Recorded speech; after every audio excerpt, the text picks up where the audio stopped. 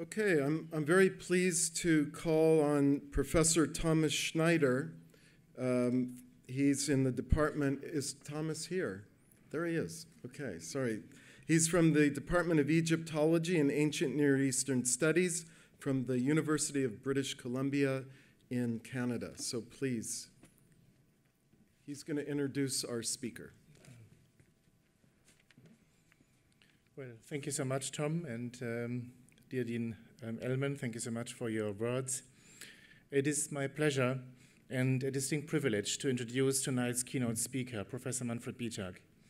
The University of California, San Diego, and the conference organizers are honored to welcome a keynote speaker who has championed the study of Egyptian archaeology and Egypt's interconnections with the Levant throughout his entire career in such a pioneering way as I just give an example of what he uh, served and what functions he served as professor of Egyptology at the University of Vienna and director of the Institute of Egyptology, as director of the Austrian Archaeological Institute in Cairo and its founder, as chairman of the Vienna Institute of Archaeological Science, as chairman of the Committee for Egypt and the Levant at the Austrian Academy of Sciences, and as director of the International Research Cluster Synchronization of Civilizations in the Eastern Mediterranean in the second millennium BC. Manfred Bietak's impact on scholarship in Egyptian archaeology and neighboring disciplines, such as the archaeology of Israel and Palestine, has earned him membership in a large number of distinguished scholarly academies and institutions, to mention only the Archaeological Institute of America, the Austrian Academy of Sciences, the British Academy, the German Archaeological Institute, the Institut d'Egypte, the Royal Swedish Academy of Letters, the Académie des Inscriptions et Belles-Lettres, the Society of Antiquaries London, and the Polish Academy of Sciences. Uh, Manfred was also a visiting professor at the Collège de France, at Harvard, and a guest professor at the Hebrew University, just as a token of his reputation. Manfred Bietak's landmark excavation at Tell el-Dab'a, and I'm sure we will hear um, um, a bit about Tell el-Dab'a in a mo few moments, Manfred Bietak's landmark excavation Tell el-Dab'a in the Eastern Nile Delta, the capital of the Hyksos, has revolutionized the field of Egyptian archaeology and Egypt's interconnections with the Levant. I think it can likely be regarded as the most significant excavation project carried out in Egypt within the last 50 years. By virtue of Manfred's unrelenting inquisitive inquisitiveness, his scholarly acumen, and his ability to publish the fieldwork without delay in publications of the most rigorous standards, he has laid lasting foundations to a new chapter of our historical knowledge. Manfred Bietak has steadily expanded this knowledge by his own prolific scholarship. I just mentioned that he published more than 20 self authored or edited monographs and close to 200 articles but also by creating platforms for the dissemination of scholarship. Um, we just heard about the importance to reach out to the community, to mention only the journal Egypt and the Levant. So it is a delight for me to have you here, Manfred, and we are looking forward to your keynote lecture. Thank you so much.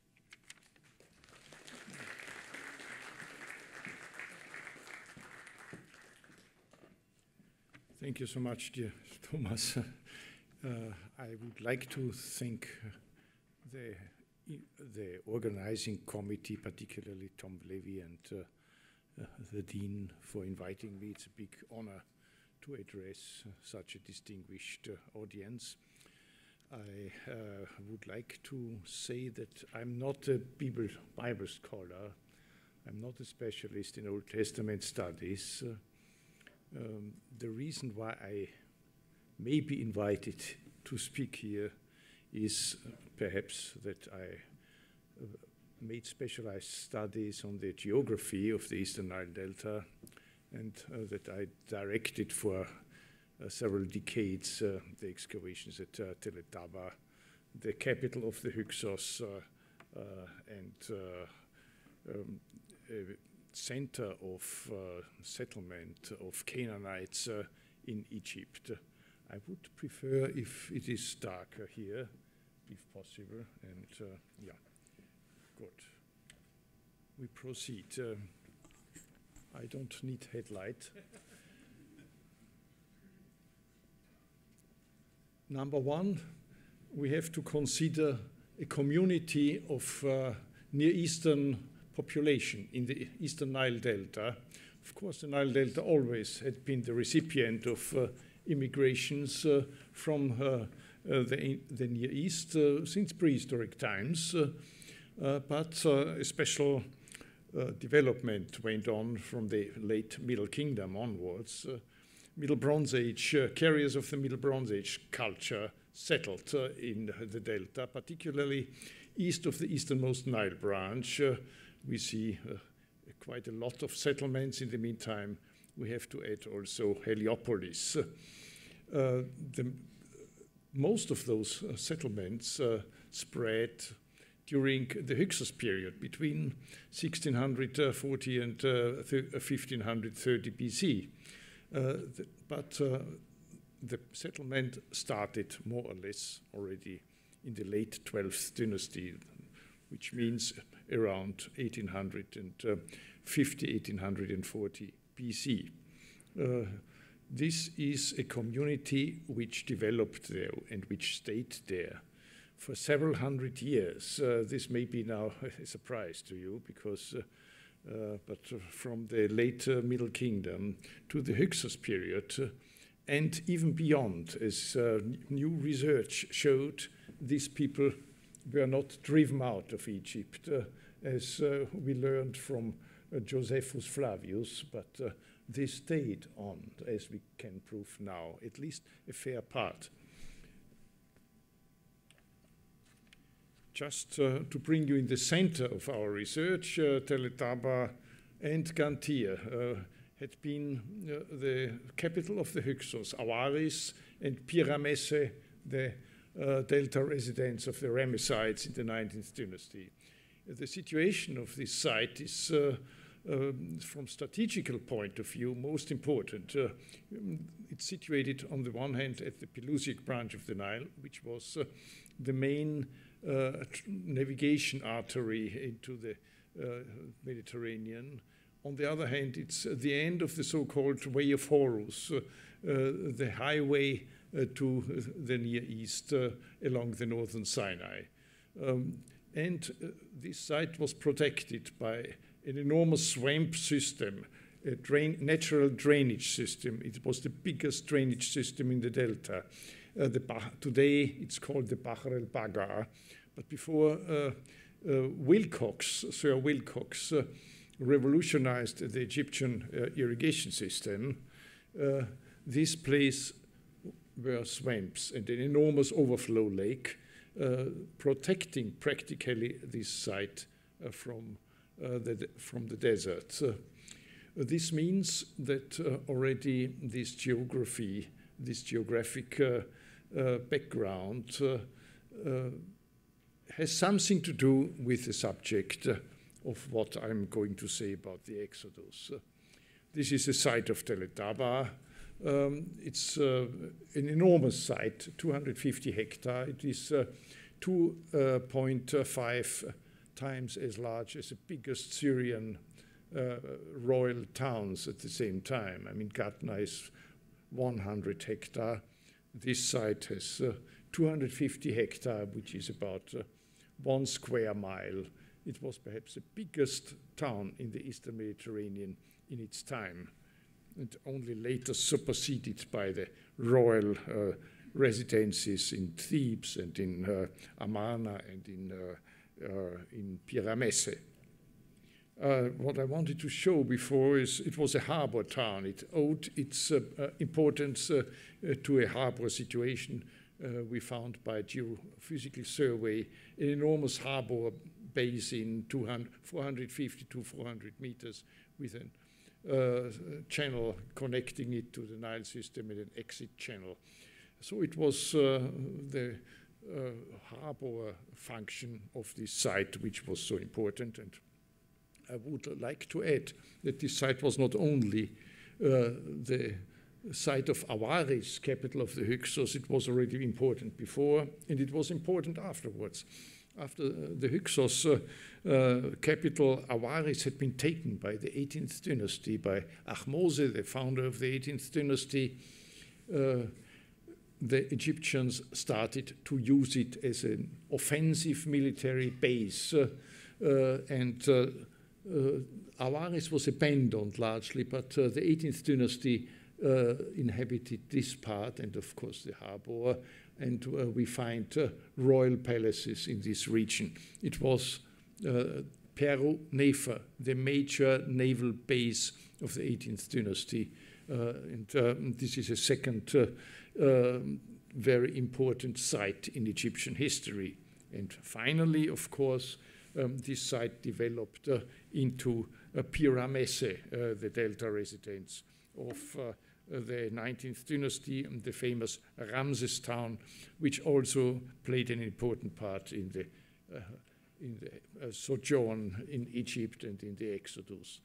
Well, this population of uh, Near Easterners, which started to settle there in the late 12th dynasty and enlarged their community considerably, uh, introduced, of course, Canaanite cults in this place. And, and we found, uh, for instance, this uh, seal cylinder uh, of hematite showing the northern Syrian storm god Baal Zephon um, stepping from one mountain to the other, the Chazi and Nani, uh, brandishing uh, duckbill axe at a club, and he's shown above, uh, therefore as a victor uh, above the sea, uh, personified by the snake Yam, but a god, therefore on a pedestal. He is shown as a patron of the sailors. behind him is a weather bull.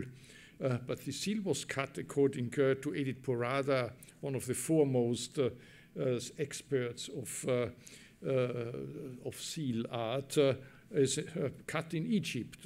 a copy, so to say, of um, Syrian seals, but made in Egypt, which is very important because this means this cult and this image was produced in Egypt already uh, by um, the newcomers. But we also have original seal impressions showing the northern Syrian storm god Baal Zephon.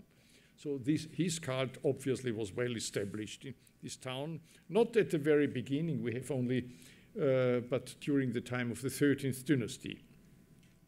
Around 1700 or shortly before, this huge temple was, it's about 30 meters to uh, nearly 22 meters, uh, was constructed. It's a, not an Egyptian temple, it's a Near Eastern temple, a broad room temple uh, with a huge niche. It has uh, many features uh, uh, which uh, it shares with Near Eastern temples. But what is important, in front of it, you have a forecourt with an altar, with a with a inflammation altar, the first of this kind ever found in Egypt. There's a second Near Eastern type of temple, a bent axis temple with the Holy of the Holies uh, on the left uh, end uh, of the temple with a tower. And uh, uh, everything was surrounded by cemeteries and Egyptian type of chapels. Uh, so there was a kind of blend in religion, but the major temples were constructed in the fashion of Near Eastern temples. Uh, here is the altar. Uh, it was covered, and all around we found uh, calcinated bones. Uh, but on the altar we found acorns, charred acorns, and as around the altar we found uh, tree pits, uh, we think that oak trees had been planted there, which played a part in the cult. And the oak tree, as you know, is the tree of the goddess Asherah. Uh, it's a synonym with Asherah. And uh, uh, it, it, could be that this temple was dedicated to Asherah. Unfortunately, no epigraphic evidence could be obtained, but the temple was painted on the outside in blue, uh, obviously for a sky goddess, and Asherah was a sky goddess. But what is very important, Asherah was uh, uh, had the epithet Asherah of the sea, so well fitting for a uh, for a uh, town which uh, owes its importance to its harbor. Well, this is a three-dimensional reconstruction of this sacred precinct with the oak tree and the, and the uh, altar. And here was, by the way, a house which was dedicated to banqueting, perhaps a kind of uh, Anyway, in front of the temple were, among other uh, offering pits, uh, pits with um, two donkeys always, uh, which are remains of sacrifices, donkey sac sacrifices, reminding us of um, uh, of uh, the correspondence of uh, Mari, where sacrificing donkeys is synonymous with making a pact or making a contract. Well, but we also had uh, other kinds of uh, uh, monumental architecture. He, here, part of a, of a palace, uh, which is not an Egyptian palace, but an Eastern palace, which shares specific uh, affinities, uh, features with uh, palaces in Syria. Here, for instance, the Palace coup in Mari of, from the same time, or everything Middle Bronze Age. Uh, both palaces share in its south uh, this uh, courtyard with double uh, walls uh, which were filled in between and with a tower, a staircase tower jutting out on the eastern, on the western side, and even very detailed uh, affinities uh, can be shown here. Here is a kind of pillar or a small platform. The same is true here. Um, so uh, in Tell el-Dab'a, this was an offering courtyard with numerous uh, offering pits, uh, uh which I cannot show you here because our subject is a different one. I just wanted to show here was a big community. About 40, 30,000 people lived in Avaris in its heydays, according to our estimates. And, and there were many more sites, so we can estimate that at least 80,000 um, people, foreigners, Near Eastern population, let us call them for convenience sake, Canaanites lived in Egypt uh, in the Eastern Delta at that time, uh, from the late Middle Kingdom till the beginning of the New Kingdom.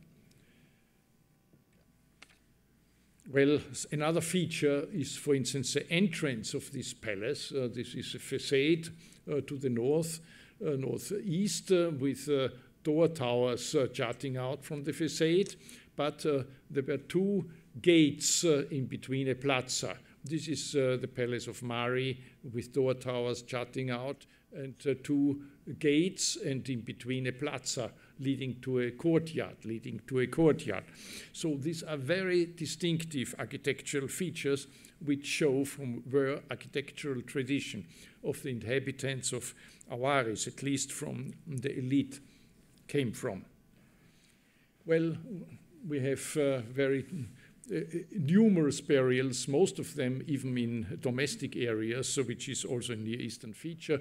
Here, warriors with uh belts uh, and uh, battle axes and scimitars, attendant burials outside, and donkeys outside. so this is a typical warrior burial from around the time when this huge temple was constructed. But what is interesting, this temple precinct did not stop with uh, the conquest of Avaris uh, around uh, 1530 BC under Ahmose, but we have evidence that it continued to be respected at least. Uh, well, uh, connections between the Hyksos and uh, the Israelites uh, we know from Flavius Josephus uh, that uh, um, the Hyksos were identified by him as being the proto-Israelites.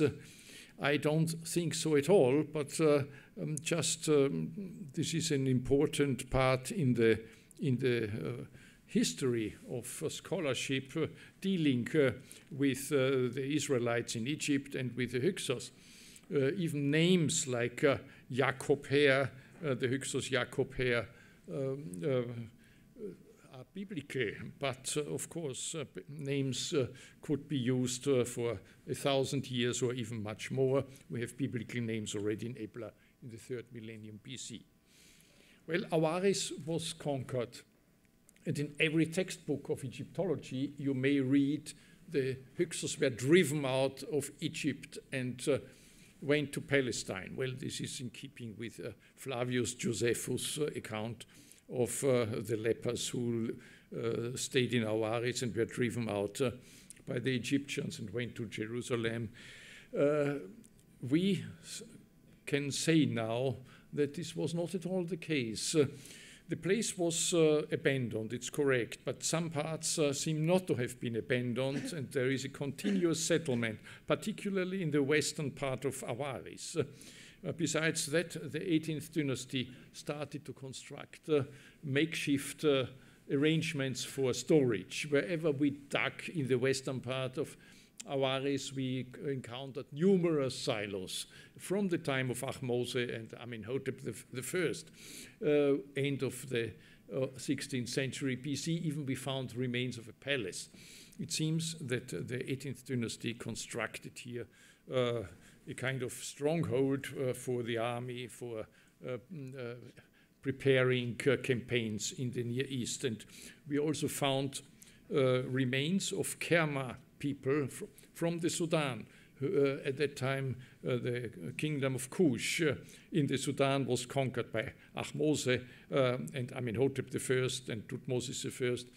Uh, and uh, of course, enormous quantities of uh, prisoners of war were shipped to the north, were stationed here in the north. We even found Kerma pottery, but also among the burials, our anthropologists were able to find people, Nubians. Anyway, uh, this is not the part uh, where I think the remainders of the Hyksos uh, period continued to live. They were more in the south, and we also found squatter settlements on the tail. But what was a proof for us that the population was not driven out of Egypt. The major part may have been dis distributed all over the, the, country, but it would be foolish uh, to get rid of the carriers of the Hyksos rule because many of them were highly qualified, for instance, in training horses, in uh, building ships, in uh, crafts. Uh, uh the whole military uh, industry uh, rested probably on the technology of the north, of the carriers of the Hyksos rule. But what we found out was that the whole ceramic industry continued unbroken into the 18th dynasty till the time of Tutmosis III. Uh, you have uh, especially the wine amphorae, the dipper juglets, uh, sieves, the scarab industry, all th those workshops continued unbroken. this is uh, a kind of wine sieve as we also found it in the 18th dynasty. This one is a Middle Bronze Age one from the Eretz Israel Museum.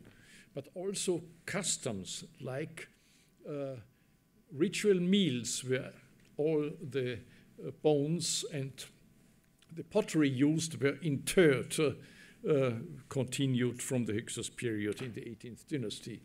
All this means that uh, a fair part of the population stayed behind, and this explains why cults of uh, Canaanite gods continued in the 18th dynasty. We have evidence that in Peronefer, the naval uh, port, uh, the major naval base of Egypt, which we can prove now was in Tell el-Dab'a, uh, Ezbet and not in Memphis. Why can we prove it? Uh, it has nothing to do with the Exodus, but just a short information. Egyptian uh, ports, which uh, uh, would be suitable for Mediterranean navigation, have to be in the reach of the sea because uh, in the first part of the year, when the Nile uh, shrinks to one fifth of its normal uh, capacity, uh, it is the sea waters which penetrate the nearly empty Nile channels and which enable ships to sail and come back. Uh, secondly, uh, this Pelusiac branch is very suitable because it has a direction to the north northeast, and uh, you can sail half winds with the prevailing north northwest south southeasterly winds, and you can return under sails, and you have not to row. Uh, what is very agreeable if you, it's very fortunate if you uh, sustain a harbor. Memphis is out. Memphis never could have been a Peru but still now the major part of Egyptology believes it just uh, because in Memphis were secondary cults, uh, affiliation cults for the gods of uh, uh Peru Nefer.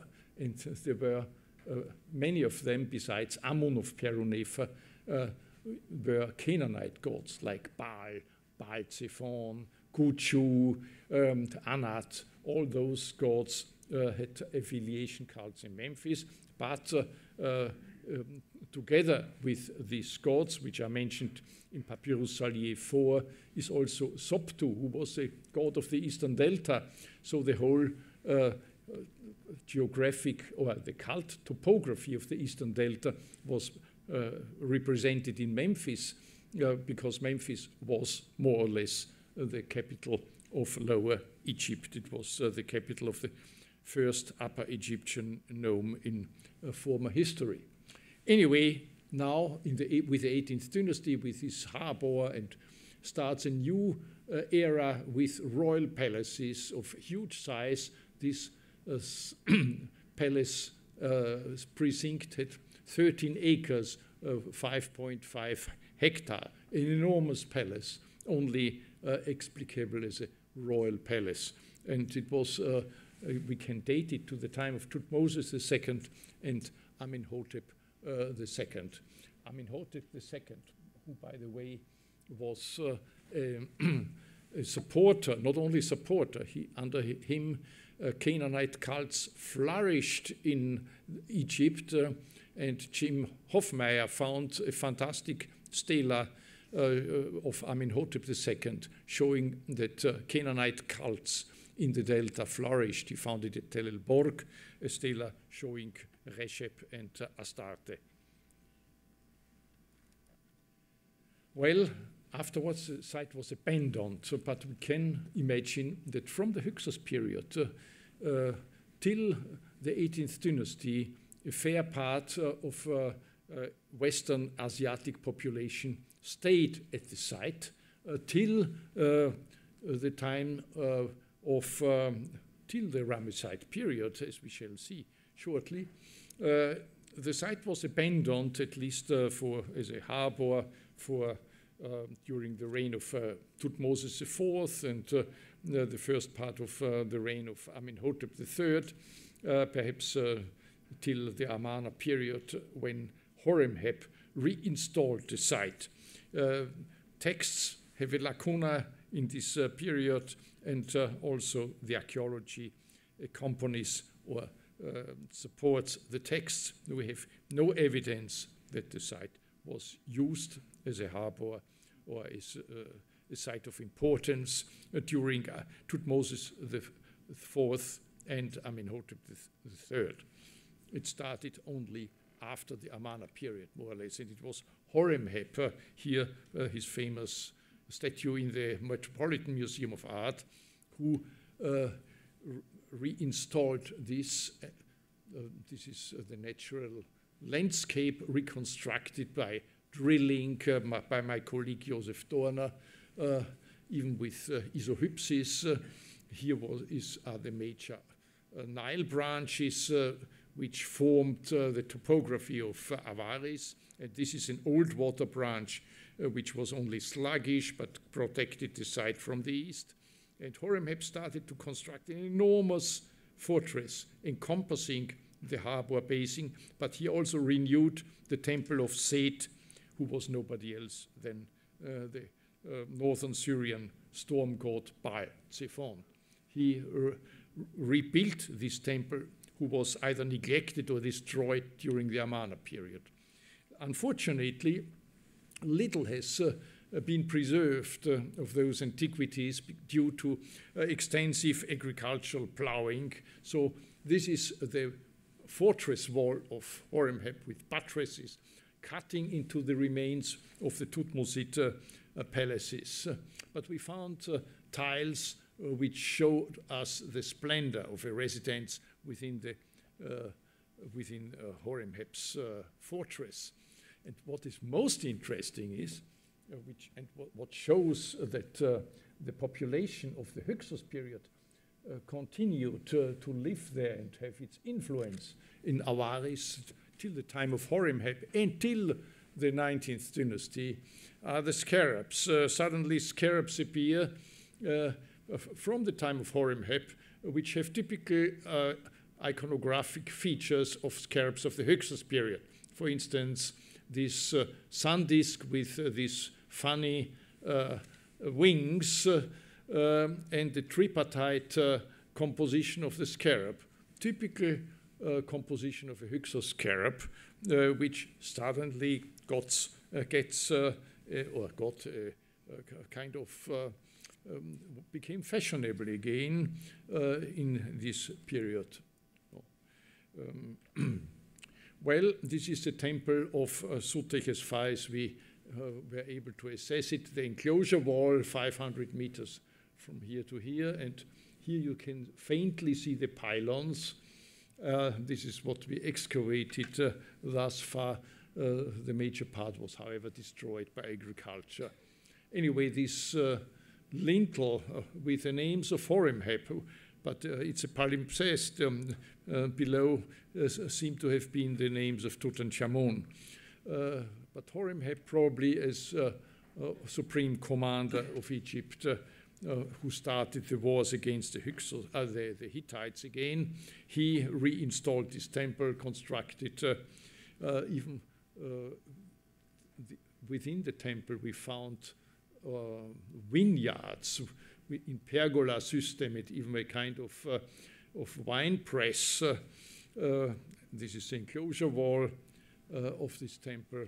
And it was also Seti the first who continued rebuilding this temple of um, Set of Avaris, the Egyptian storm god, but in reality it was not the Egyptian storm god. This is only the interpretatio Egyptiaca. It was the northern Syrian um, weather god Baal Zephon, who was uh, uh, celebrated here. Uh, and I, I, see here a cult a continuity from the late Middle Kingdom till the 18th dynasty, the, the 19th dynasty. Well, we know why Horemheb uh, reinstalled this uh, naval base at that time during the Amarna period. It was where the, the Hittites who expanded uh, their influence into northern Syria and became a formidable adversary of the Egyptians. Well, again, here, Avaris, uh, uh, Peru Nefer in the time of Horemheb, but uh, Horemheb also started to make installations in Qantir, as Edgar Pusch, our colleague, uh, originally from the Pelizaeus Museum, Hildesheim, during his exploration, was able to find out. Uh, to, to find out. And soon afterwards, it was Seti I, and not Ramses II, who started to build a palace in this region.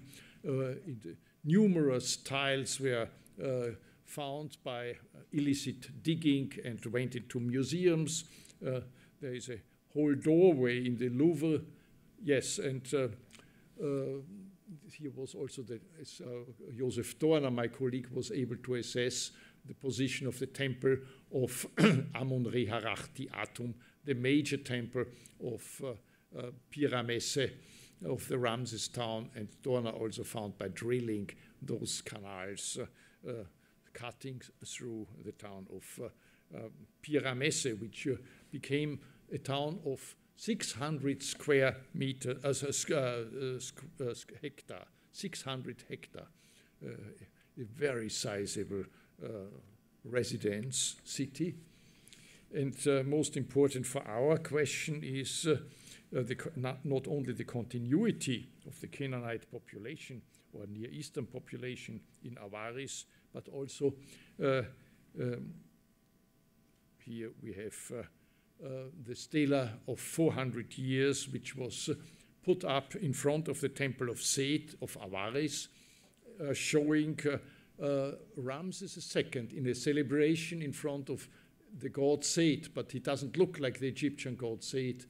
Uh, he has a high crown, he has horns, a high crown with a pomon, uh, Uh, he has crossed bands and uh, a kilt, uh, typically the northern Syrian kilt, with tassels in the end.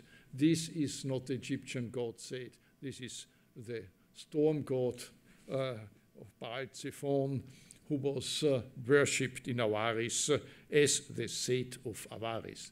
But behind Ramses II, there is a representation of his father, Seti I, but not clad as a king, but uh, as a vizier. Uh, and uh, therefore, uh, several scholars think that uh, the celebration of uh, 400 years of the rule of king of Upper and Lower Egypt, Sutech Pehti Nupti, he has the Egyptian titles of this god, happened not uh, during Ramses II, but uh, during Horemheb, when Seti I and his father Paramesse had been viziers. This is a cult continuation, a cult uh, anniversary, obviously uh, celebrated in the time of Horemheb. And if we go backwards from around 1300, uh, uh, till 1300, 400 years backwards, we come to 1714 to 1700 BC. It's precisely the time when this temple was constructed, the Canaanite temple of 30 meters um, to uh, 22 meters. Uh, and the whole precinct was constructed at that time. I wonder if uh, this is not by coincidence uh, uh, a kind of uh, cult continuity in Pyrames, in Avaris and Piramesse, carried through by uh, Western Asiatic uh, populations, Semites, Western Semites, living in Tell el-Dab'a uh, in this, throughout all this time. And I wonder if these 400 years uh, of continuation did not uh, filter into the tradi Exodus tradition of the state of the Israelites in Egypt uh, 430 years. also here on this stela, it's not precisely 400 years, it's 400 years. And, uh, uh, uh and 40 day, 400 years and year, month number four of, of this year and uh, the day four.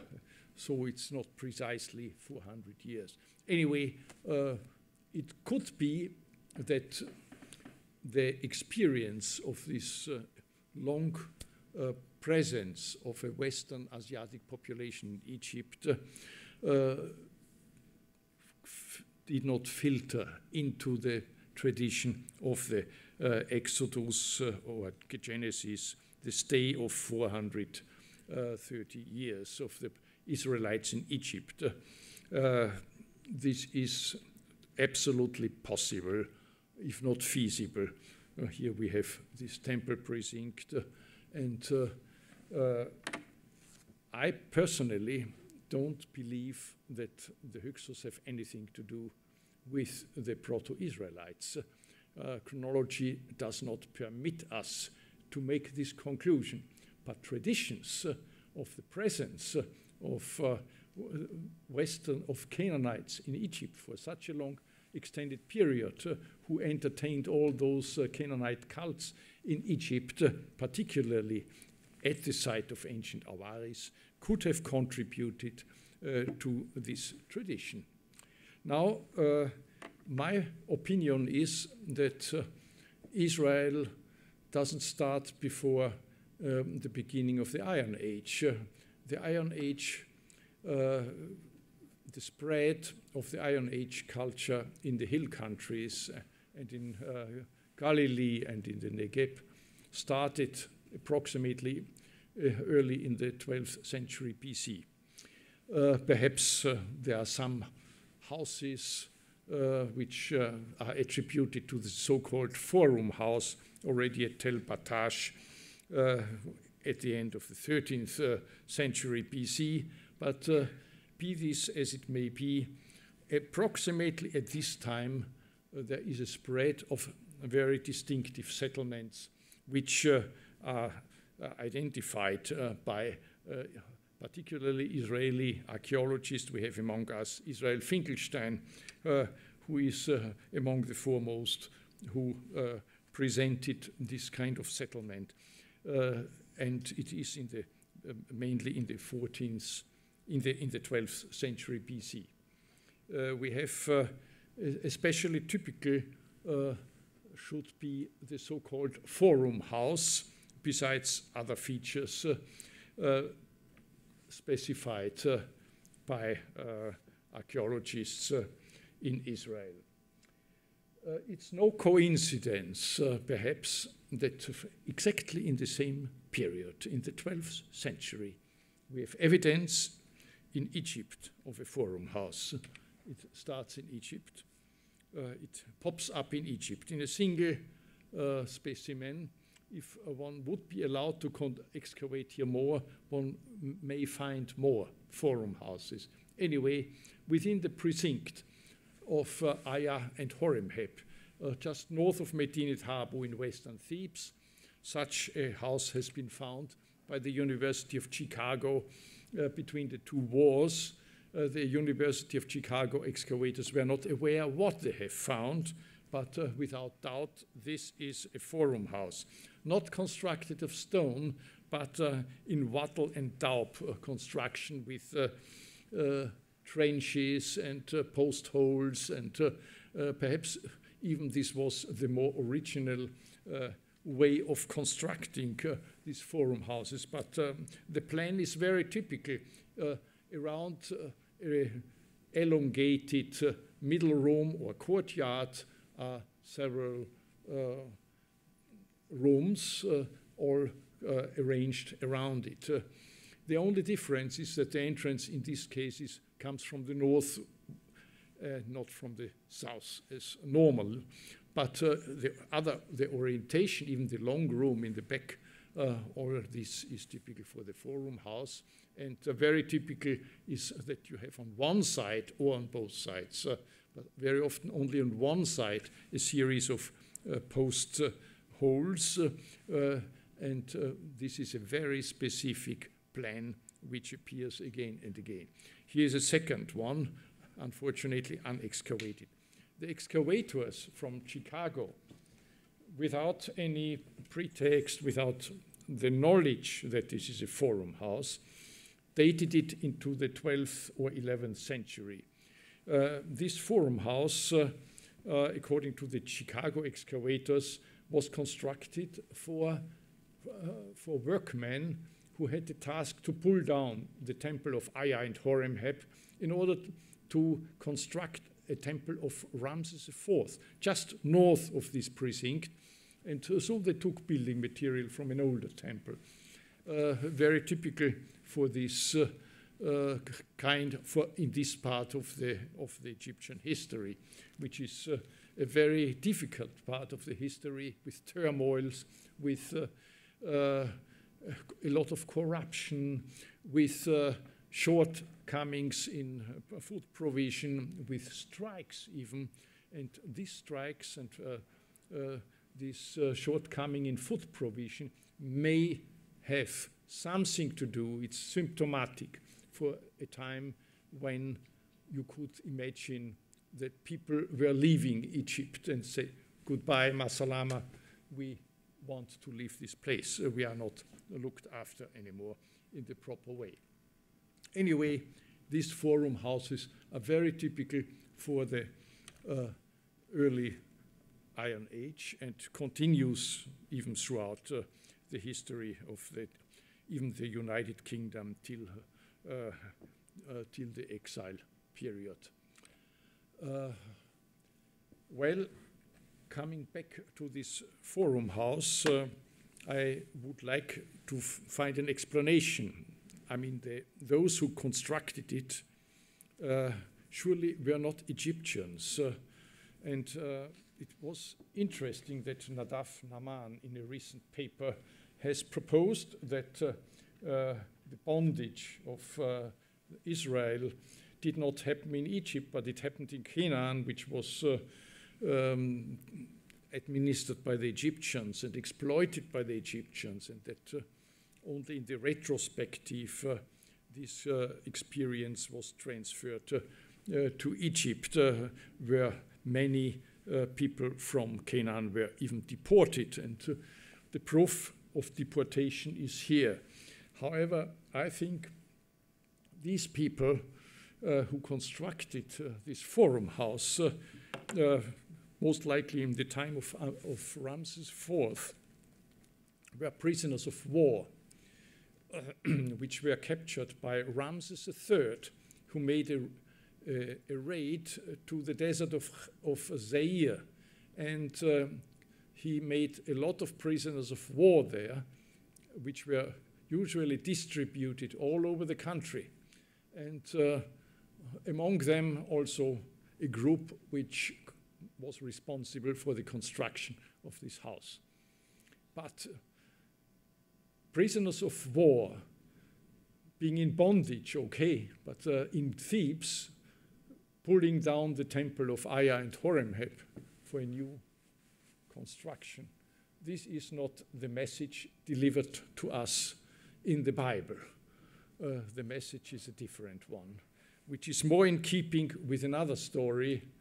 Uh, this is Papyrus Anastasi 4, which mentions, uh, among many other things, one of the uh, uh, messages, stories, Uh, is this kind of copy of a, of a uh, fortress, boundary fortress at the eastern delta uh, in Jeku, informing us of a group of Shosu Bedouins from Edom, which were allowed to enter uh, the tract of Jeku and were allowed to proceed till the pools, or we may translate even lakes of Pitom, uh, in order to keep their flocks alive and in order to keep themselves alive. Uh, this is much more in keeping with uh, the biblical uh, uh, tradition.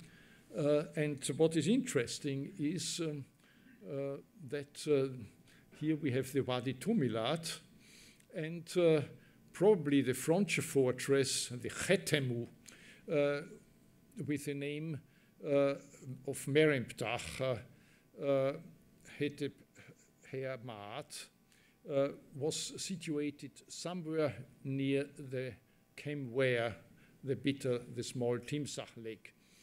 Not so small, this lake, by the way and uh, they were allowed to proceed till the pools of Pitom.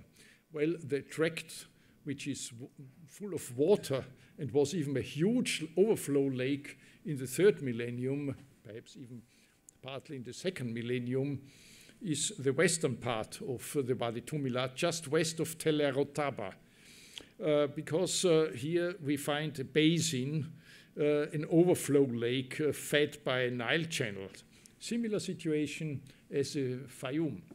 As in the Fayum, not as big as in the Fayum, but quite a sizable, uh, quite a sizable lake, which contributed, by the way, to the name of this region in the Old Kingdom as uh, the Eastern Hapun Nome.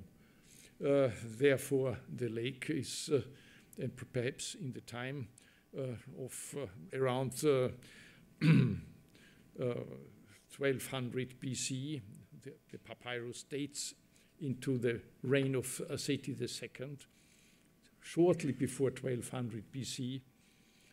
Um, this is, uh, uh, perhaps it was divided into several smaller lakes because at that time the Pelusiac branch was not in full action anymore, and this means that also less water uh, was available for feeding this part of the Wadi Tumilat. But the pools or the lakes of Pitom shows us that Pitom is not situated in the eastern part of the Wadi, but rather in the west or in the middle part. And the most prominent part, which is called today Ras el Wadi, is just uh, uh, east of this overflow lake. It's Tell er-Retaba, which is the most likely candidate for Pitom and not Tel el Maskhuta. Tel el Maskhuta is a much later affair, uh, not before the uh, Persian period or later Saitic period. Uh, therefore, Maskhuta cannot be Pitom. And Pitom in this case is not just a region, Pitom is a toponym.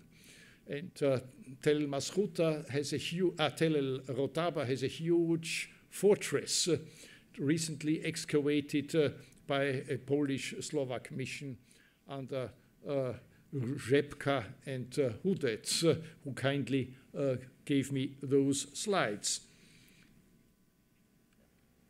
It's the enclosure wall of the fortress, an inner enclosure wall, a temple, and uh, installations also of the 18th dynasty and uh, of the second intermediate period.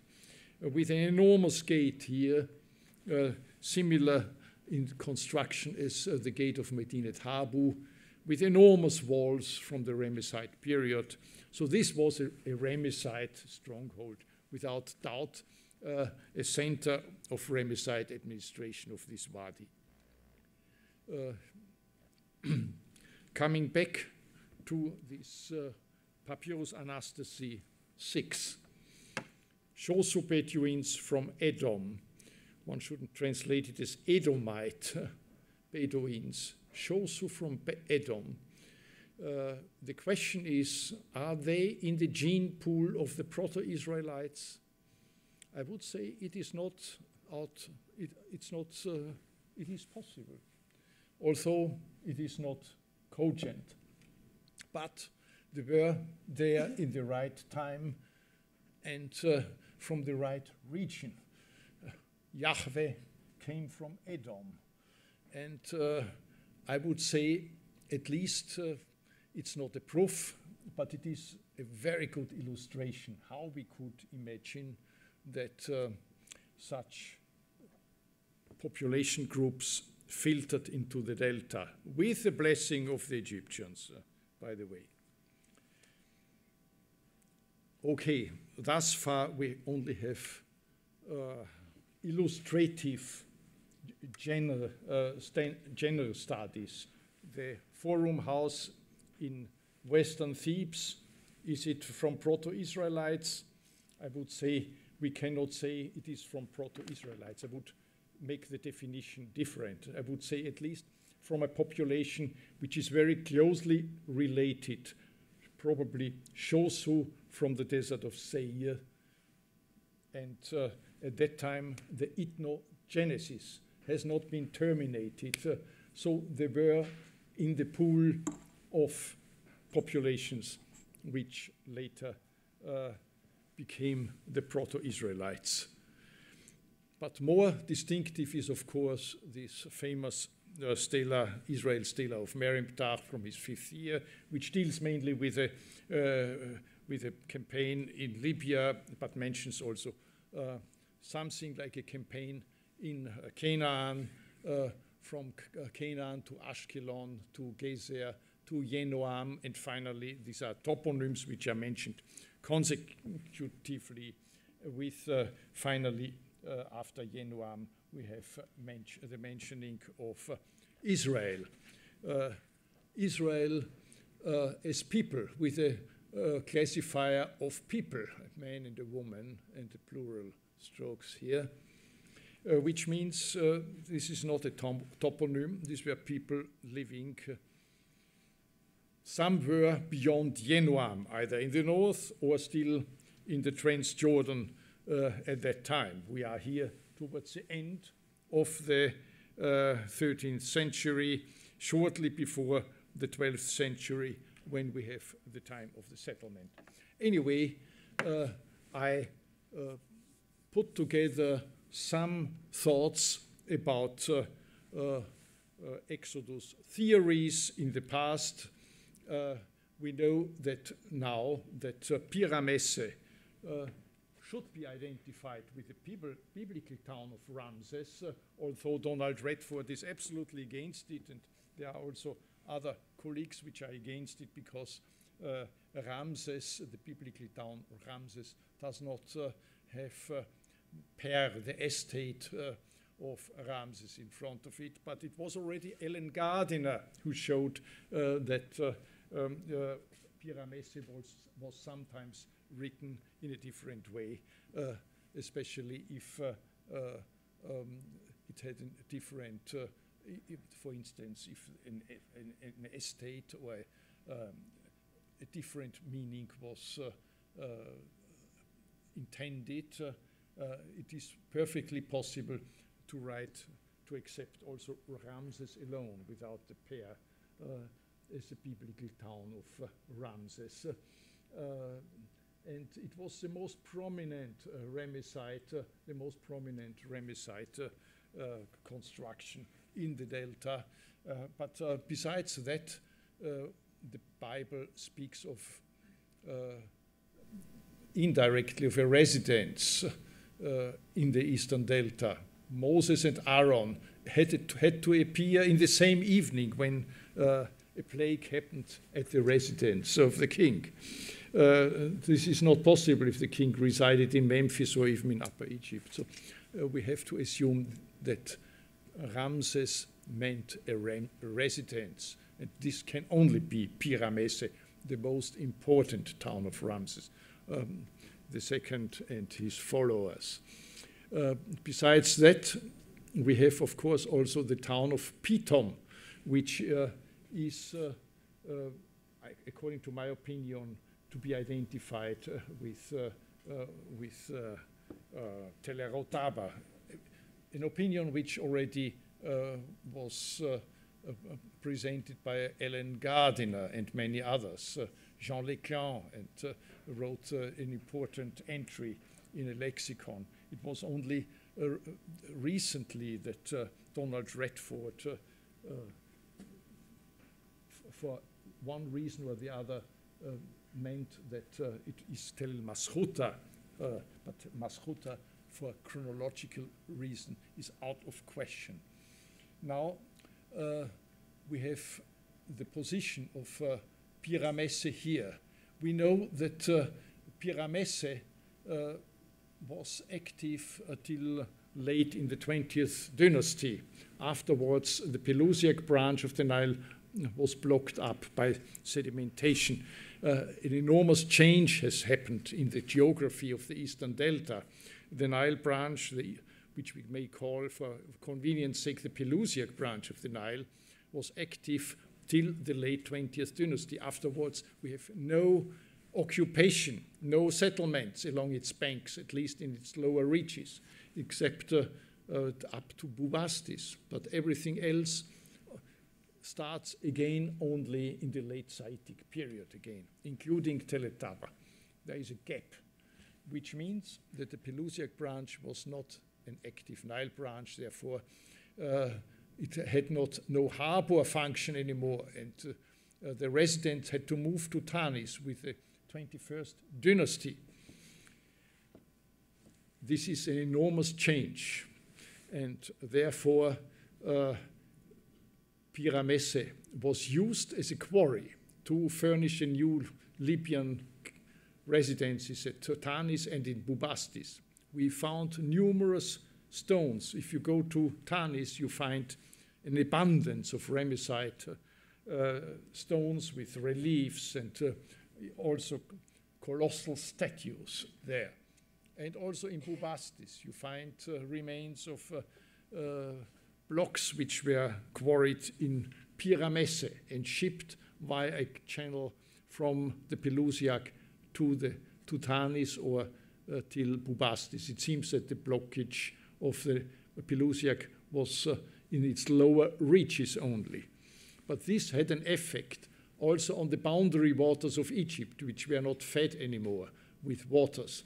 But it had also an effect uh, in the whole uh, geography uh, of the Eastern Delta. And I mention this specifically because now uh, there is uh, the opinion uh, that the biblical uh, the, the, the biblical history of Genesis and Exodus reflects the geography of the Saitic period or even later.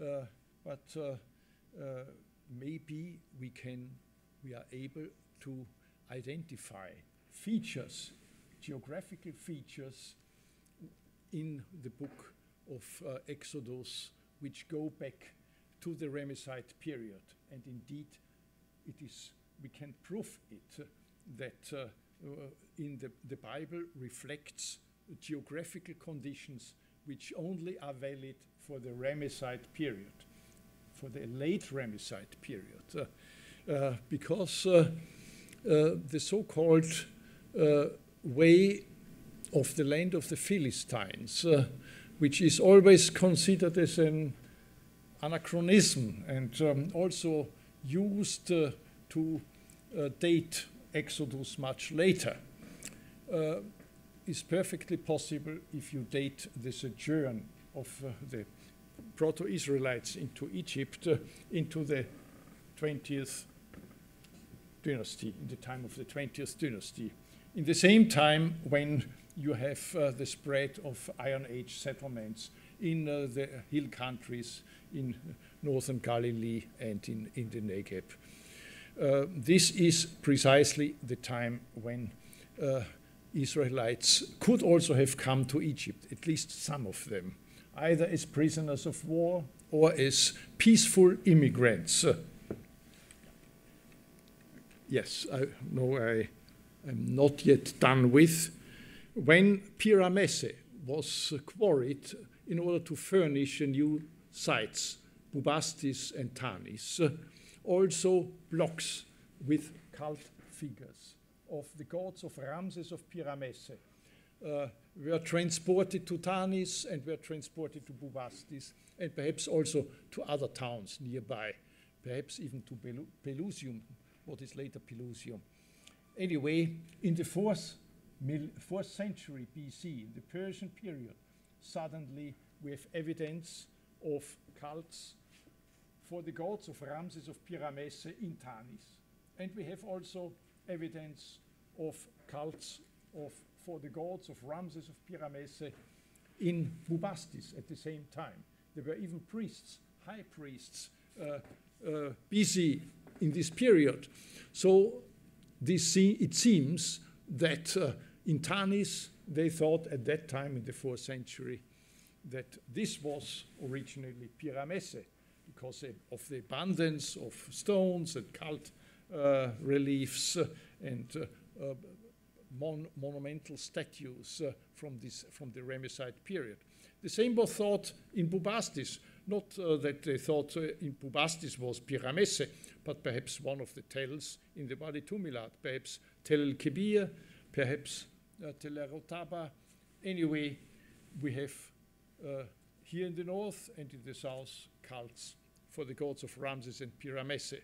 And uh, we could imagine that exilic Jews settling in uh, the eastern delta, among them was even the prophet Jeremiah, who stayed in uh, Def Defene, Tachpanches, uh, were interested to find vestiges of the forefathers in the delta. And they were, of course, uh, depending on the opinion of the Egyptians, uh, on, on, the contemporary Egyptians. And this explains why, for instance, in the Psalm 78, Tanis uh, was considered uh, or was associated with Piramesse and the miracles which the Lord performed in the fields of Zoan uh, aim at the Manzala Lake as uh, the Sea of Reeds. And the same is true to some extent, uh, at least um, the uh, Septuaginta scholars, they identified the Wadi Tumilat as the root of the Exodus, and perhaps the Timsah Lake as, as the Sea of Reeds. Uh, some uh, glosses even thought of uh, Heliopolis as P atom, per atom, the house of Aton, or the estate of Aton. Uh, as being uh, uh, Pithom, and that the Exodus started from here to the Red Sea. so different Exodus versions in the late Targum, Yerushalmi, Pelusium is mentioned as, as Piramesse. uh, and or as, as Ramses, uh, and uh, they envisaged a kind of exodus route over uh, um, along the Serbonis Lake at the northern edge of the Serbonis Lake. all these exodus interpretations can be explained by the dissemination of stones. I've written this already 1975, but uh, it's written in German, therefore few take advantage of this uh, uh, publication in uh, the volume Tell el-Dab'a 2. Anyway, uh, Piramesse Ramses was here, and uh, if one could create a kind of scenery, imaginary for the Exodus route, the only way people could leave this place was between the Pelusiac branch and the Bahar el Baga drainage system. You cannot cross the Bahr el-Baqar. Therefore, a reconstruction going from Tanis to Pithom and then uh, continue to the Wadi Tumilat is not very likely. Uh, I think that two Exodus versions merged here uh, in uh, the book uh, Exodus 13 20. It seems that Sukkot, which is Jeku, was the place from where the proto Israelites started the Exodus, whereas Ramses was clearly uh, referred to as a starting point in another passage and also in the book Numeri of Numbers. Uh, but in this case, you have to move northwards, and then you come into a situation where you either have to pass the frontier fortresses officially, or if you cannot do it, you have to pass uh, the Ballah Lakes, which were at that time probably a body of water, uh, at least in the time of the 19th, 20th dynasty, still fed by of shots of the Pelusiac branch of the Nile. And there were fords you can pass, and surely Bedouins or migrants knew these passages. They entered Egypt in this way illegally, and they left Egypt illegally in this way. And uh, at least I wouldn't say this is a proof, we have a proof of Exodus, but it is at least a scenario. And uh, um, taking also the toponyms together, the Ballah lakes, which are, of course, uh, uh, to be identified with, uh, pa, with Pa Chufi, uh, the papyrus uh, mentioned in Papyrus Anastasi 3 and in the Onomasticon Amenope to be dated, the former into the late 19th dynasty, the latter at the end of the 20th uh, dynasty or even already in the, in the 21st dynasty, uh, which shows that uh, entities of Egyptian geography in the Eastern Delta filtered into the book of Exodus and already partly into Genesis. Uh, the land of Ramses is used, for instance, uh, synonymously with the land of Goshen. Uh, yeah, anyway, what I wanted to show is that features of the geography in the time of uh, the 19th, 20th dynasty filtered into the, uh, into the tradition of the book of Exodus. And uh, uh this is a very interesting uh, conclusion, and therefore we cannot date the whole composition of the Exodus into the Saitic period or even later. Some parts must have been conceived much earlier. Well, this is uh, the region I'm talking about. Here is uh, Avaris Piramesse, uh, Rams, the town of Ramses, and the way one has to leave between the Bahr el-Baqar and the Pelusiac branch these were swamps, perennial swamps, difficult to cross. So you have to leave from here. And before you come to these frontier fortresses, you can you can uh, cross this uh, stretch of water, which I think is Pachufi, which is mentioned together with the Shihoah. Also, uh, the Shihoah is known in the Old Testament in quite a lot of passages.